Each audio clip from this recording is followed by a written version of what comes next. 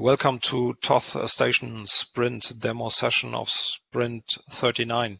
Um, we're going to have two topics uh, today. Uh, Francesco and Dominic going to show uh, what they did in the past few weeks. So enjoy.